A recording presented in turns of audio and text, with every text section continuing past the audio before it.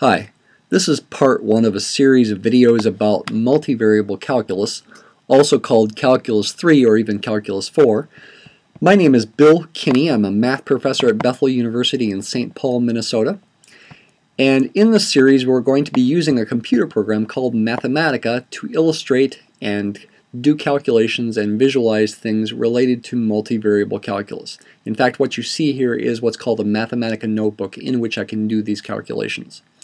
This is also part one of a sub-series of videos about parametric curves. I actually have another series of videos about parametric curves where going in I assume that people don't necessarily have calculus and I try to quickly develop calculus tools to help you understand parametric curves. We will develop those tools here as well, but here I am going to assume you know some calculus, at least a couple semesters worth. In this particular video, we're going to be using two, two Mathematica commands called table and parametric plot to graph a parametric curve.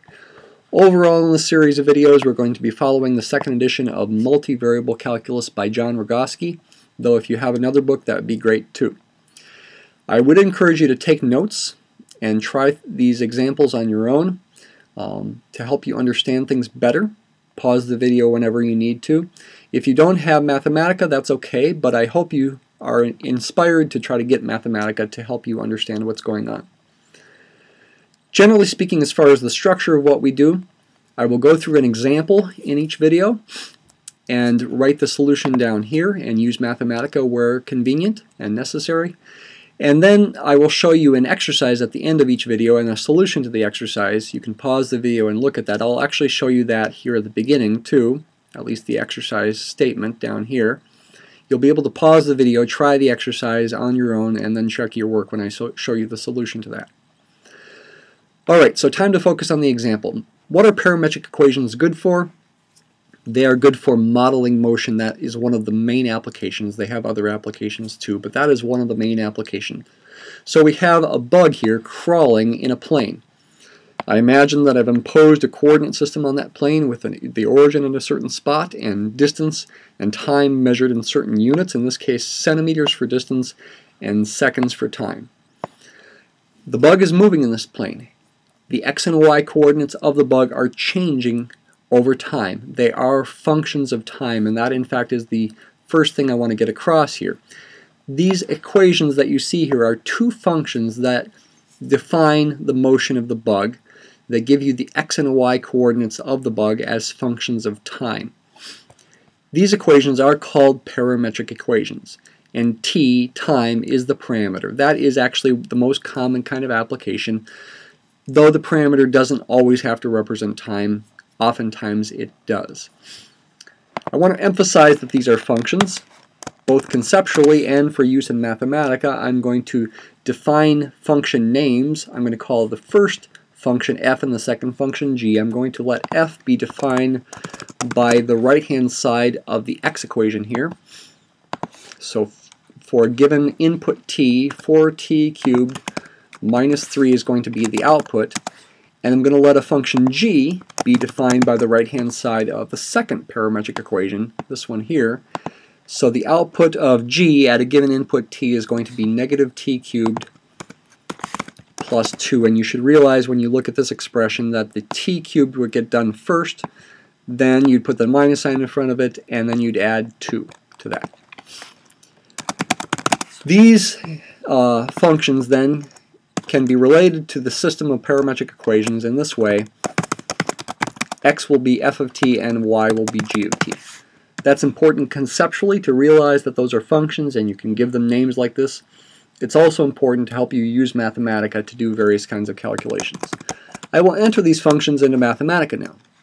So I go down here and I wait till I see a horizontal line there. That tells you that Mathematica is ready for input. I type a letter in this case f representing the name of the first function.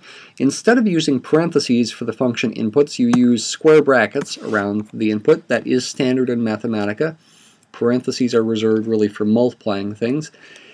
You put the variable name inside the square brackets, and when you are first defining the function, you must put an underscore after the variable. That doesn't uh, in general, that's not something that you use after you define the function, but when you first define it, you must put an underscore. You could put an equal sign next, but I usually like to do a colon equals. That's called a set delayed operator. It's not absolutely necessary, but I like to do it. I would encourage you to do it as well.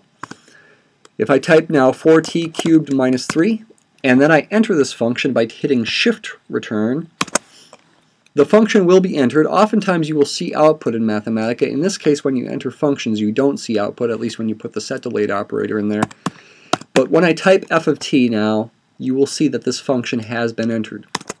There it is. There's the output of that function. Negative 3 plus 4t cubed is, of course, the same as 4t cubed minus 3. That is a function that is entered. h of t, for example, is a function that's not entered. If I try to enter something like this, it's not been defined. It only spits back h of t because I haven't defined it yet. Semicolons in Mathematica are a way to separate, uh, to suppress output. It's actually not necessary here, but I like using them to separate different lines of code as well. I will define g of t in this way, negative t cubed plus 2. These functions are now entered. Here's g of t, 2 minus t cubed. You can find their values at any moment in time. For example, I could find g of 2. You should try that on your own. You'd have to cubed 2 is first. 2 cubed is 8. Then put a negative sign in front of that to get negative 8. Then add 2 to get negative 6. The output of g when the input is 2 is negative 6. We will see this output here when we enter this function. Do a shift return. Negative 6, that is the output of that function when t is 2. What's the first thing you should do to help you graph um, the parametric curve defined by these parametric equations? You should plug in points. In Mathematica, table is a way that I can plot points. Let me type it like this. Think of this as a point. I've, it's really what's called a list in Mathematica. I've got the outputs of these two functions separated by a comma inside curvy braces here you can think of that as being a point in Mathematica. A table will compute values of that, that expression as t varies between two numbers, in this case 0 and 2. If I don't add any other options to what you see here, it will plot it will plot three points. It will not plot them, but it will calculate them. For t equals 0, t equals 1, and t equals 2. Those are the outputs. You should check that. The first point is negative 3 comma 2 when t is 0, then 1 comma 1 when t is 1, then 29 comma negative 6 when t is 2. If I want to find the output at more points, for example, at every half second of time, 0, 0.5, 1, 1.5, and 2, I would need to put an extra comma 0.5 in here to see those extra points. For example, at t equals 0.5, the point that I would plot in the xy plane would be negative 2.5 comma 1.875. So you could you should take the time now to draw us a coordinate plane and plot these points in order from left to right here and then draw a curve connecting the dots. Actually the curve will be a straight line in this case uh, but what I want you to notice when you make that plot is that these points are not equally far apart. They get further and further apart as you go along. You can see that here just with the numbers and you should see that with your plot. That's because the bug that's moving in this plane is speeding up. To end this video, before I go down to the, uh, the exercise for you to try, uh, again, this is the syntax for table. That's going to help us see these outputs. I want to show you the syntax for parametric plot, which will plot the entire finished curve. By the way, these uh, uppercase initial letters are important in Mathematica, and in fact, this second word also needs to be capitalized at the start for parametric plot you do want to make sure you do the syntax in exactly the same kind of way that I'm doing. Okay, here's a basic parametric plot code that is going to graph this. Now, we are going to see the curve. It's going to be a straight line, like I said. There it is. But we have lost something in just graphing the curve itself, like this, the finished product. We have lost the motion. You don't see the motion here. It's not being animated to see the motion like you would if you were in parametric mode in your calculator. So we don't see the motion, we only see the finished path. In the next video we'll get into the actual motion to see it and to see that it's speeding up over time. But here with this basic parametric plot without anything else added to it, we just see the finished product. Alright, and again, like I mentioned, now to end the video, I'll go down here. and look at this exercise. You can pause this uh, right now and you can write that down. And now I'm going to move on to the solution of this exercise. It's for the path of a car. I define the functions. You must enter these here. You can see a table for this. Actually, I added more to the table. I added some table headings. I'll do that in the next video for the previous example as well. I also added t-values over here on the left, so you see more than just the x and y, but you only plot the x and y. And here is the final curve.